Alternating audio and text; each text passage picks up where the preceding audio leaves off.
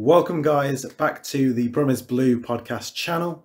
The following clip you're about to watch is with Adrienne Jordan, the American defender, talking about growing up in a sporting family as well as a time over in Italy. Before you get into the clip, don't forget to subscribe to the channel and like this video for more content like this in the future. Thank you for watching and enjoy the clip. Everyone in my family is very athletic. Uh, my other siblings are also multi-sport athletes.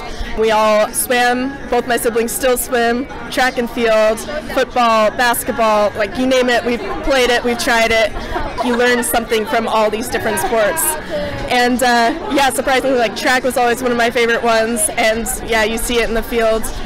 And then like swimming also, for me, it really helps with the off fields, like not really having um, that kind of like hard impacts conditioning.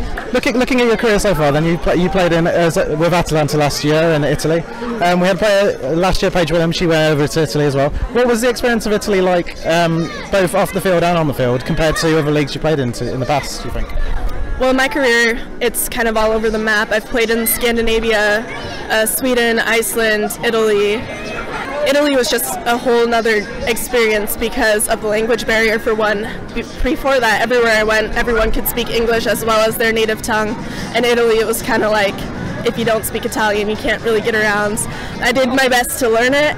I've definitely forgotten some since then, but I think it was just a whole nother experience learning the culture and they're very like hot-headed and aggressive, you know, so it was pretty overwhelming at first, but once I like realized like, oh, they're not necessarily like yelling at me because I did something wrong. They're just yelling because that's how they do it. So yeah, that has definitely helped me out and like kind of given me a thicker skin.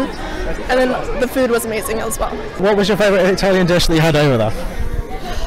Oh my gosh, you can always find me eating pizza or gelato. Gelato is definitely the best. flavor? I am well. I prefer prefer the sorbet, which they don't really technically say is like gelato because it doesn't have milk in it, whatever. But I definitely that's my kind of like the lemon, um, the raspberry is so good, combined even better. So